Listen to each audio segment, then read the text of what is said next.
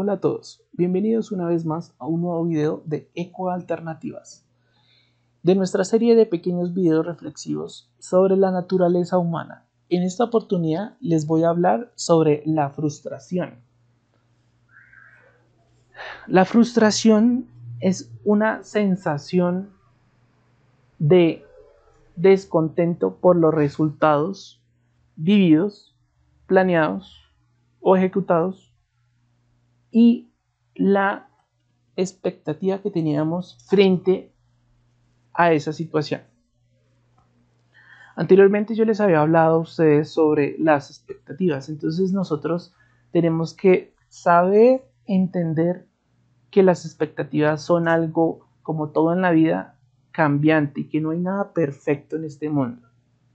Pero debemos hacer nuestro mayor esfuerzo y con eso es que nosotros tenemos que eh, lograr buscar el equilibrio de nuestro paz mental. ¿sí?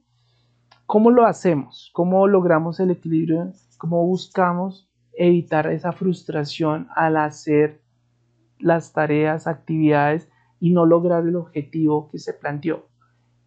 Uno, ten en cuenta que en la vida todo, cada momento es una oportunidad. Mientras tú tengas vida, mientras tengas salud, vas a poder seguir adelante. Sí, es una oportunidad que Dios te dio para seguir intentando. ¿sí? Dos, nadie es perfecto. Nadie es perfecto en este mundo. Si te equivocaste o si las cosas no salieron como debían salir o si la persona eh, con la que tú estás no dio las, las respuestas que tú esperabas, tienes que tener en cuenta que no hay nadie perfecto.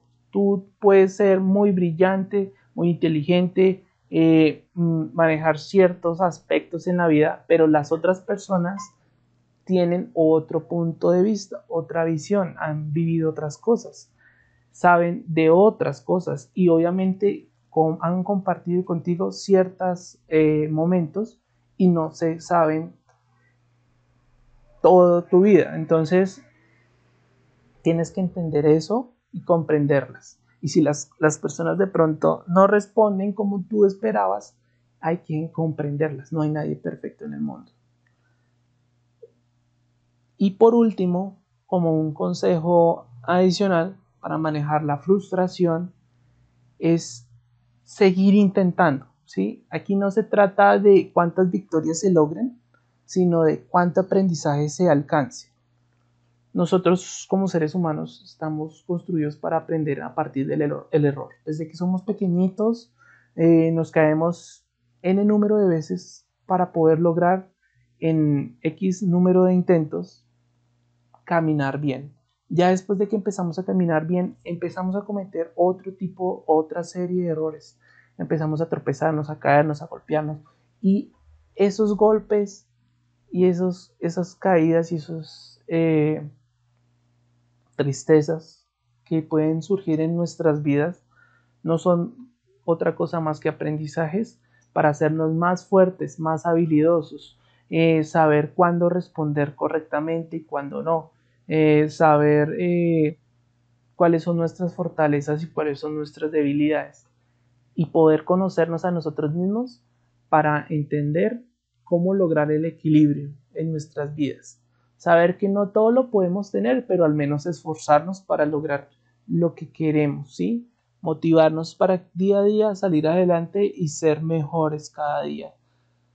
Entonces, no nos dejemos derrumbar por la frustración.